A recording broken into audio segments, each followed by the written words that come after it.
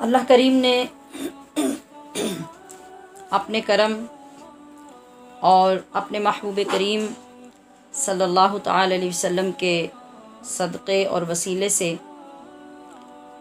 हम सबको बेशुमार लातादाद अनगिन नेमतों से नवाजा और नवाजने का सिलसिला रोका नहीं, बल्कि आज तक जारी है और हर दिन में नई शान, नई आन के साथ चल रहा है। बहुत बड़े इनामात इलाहिया में सर फहरिस्त तो इस्लाम है, फिर हिदायत है, इसके बाद अक़ल सलीम है। ये अक़ल ही है जिसकी बदौलत इंसान हैरान कन ईजादात करता है। उसके पीछे असल एहसान किसका है? जिसने हमें इल्म अता किया। और ख़ुद उसने ऐलान फरमाया वल्लमल इंसान मालम या आलम वो रब है, जिसने इंसान को वो कुछ सिखाया जो वो ना जानता था। नेमत कोई भी हो, इसकी कदर और ज़्यादा हासिल करने का तरीक़ा कुरान अजीम ने हमें सिखाया है। वो किसी ज़माने की नेमत हो, किसी शोबा ज़िंदगी से ताल्लुक़ रखती हो कोई भी फ़ायदा हमें दे सकती हो। तरीक़ा एक ही है, अगर आप नेमत को बरकरार रखना चाहते हैं, या उसकी ज़्यादती का हसूल करना चाहते हैं तो फिर ज़ाबिता वही पकड़ें जो अल्लाह ने आपको दिया है। और वो है, वाला इन शकर तुम ला अजीदन को अगर वो तुम्हें कुछ अता करे तो फिर उस पर शुक्र अदा करते रहो। तो वो अपने कानून के मुताबिक तुम्हारी नियमतों में इजाफा फरमाता रहेगा। और अगर तुम शुक्र नहीं करोगे तो उसका क्या जाएगा? जिस तरह उसने ये बता दिया कि शुक्र करो तो नेमतों में इजाफा हो जाएगा। और इजाफा भी ऐसे नहीं कि कभी हुआ, कभी नहीं, ज़रूर ज़रूर ज़रूर फरमा के ऐलान किया कि तुम्हें दूँगा और देता रहूँगा। तो अगर तुम इससे मुतफ़िक नहीं होगे और नाशुक्री करके उन नेमतों को ज़ाया करोगे तो इन अज़ाबी ला शदीद।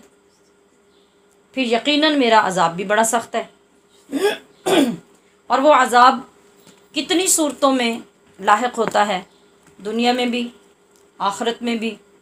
और उसकी सूरतें कितनी होती हैं, वबाल कितने होते हैं किस किस अंदाज में वो अल्लाह का अजाब बन के चीज़ें आती हैं, हम उनका इदराक नहीं कर सकते। जब हम अल्लाह तबारक ताली की नेमतों के मिलने के रास्ते को पहचानेंगे तो फिर तो हम उसकी नाराज़गी, गज़ब और वबाल को भी समझ सकेंगे। जब इसको नहीं पहचानेंगे तो उसकी समझ भी नहीं आएगी।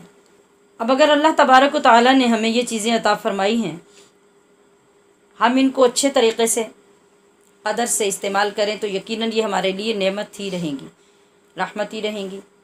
शिद्दत की गर्मी में जब आपसे कोई काम करना, बाहर निकलना ख़ास तौर पे बीमारी और कमज़ोरी नकाहत और बढ़ापे की हालत में कुछ नहीं हो पाता, सांस लेना मुश्किल हो जाता है। तो ऐसे में अगर आपके कमरे में एसी लगा होता है तो कितनी बड़ी नेमत आपको महसूस होती है?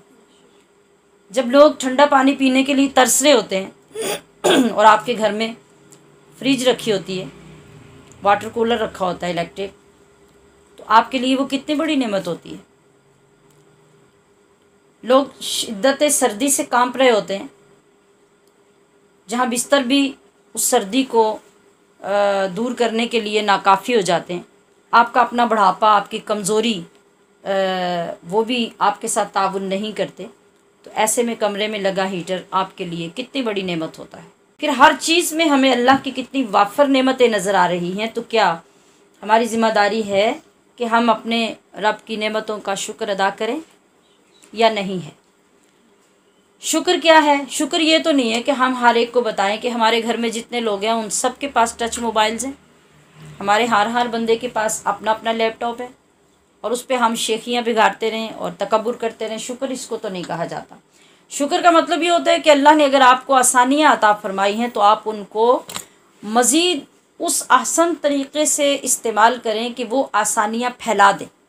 उनको लोगों में तकसीम कर दें फ़वाद को बढ़ा दें। अपनी ज़ात तक ना रखें। ये अल्लाह के शुक्र की एक बहुत अच्छी सूरत है। वरना आप अगर शुक्र नहीं करेंगे मतलब अगर हम ये कहते हैं कि हम कोई काम करते हैं, अगर अच्छे कमेंट आते हैं और कोई लोग अप्रिशिएट करते हैं तो हमारा हौसला बढ़ता है या हमारा नेटवर्क फैलता है या हमें फ़ायदा पहुँचता है तो अल्लाह को ऐसी तो कोई ज़रूरत नहीं है। वो इसलिए मैं नहीं कहता कि मुझे कमेंट्स करते रहो। और अप्रिशिएट करते रहो रिस्पॉन्स करते रहो ताकि मुझे हौसला मिलता रहे और मैं मज़ीद आगे अपना काम जारी रख सकूँ। माजल्ला ऐसा नहीं है। वो फिर हमारे ही भले के लिए, हमें ही मज़ीद फेवर देने के लिए दुनिया और आखरत का वो ये फरमाता है कि मेरे साथ शुक्र का ताल्लुक जोड़े रखो। वरना अगर नहीं करोगे तो वहाँ फरमाया कि इन्ना अजाबी लशदीद और फिर वो दूसरे मकाम पे फरमाता है कि इन नबत रबी कला शदीद। फिर अगर तुम ऐसा नहीं करोगे तो तुम्हारे रब की पकड़ इतनी सख्त है, इतनी सख्त है कि पूरी दुनिया मिलकर भी तुम्हें छुड़ा नहीं सकेगी।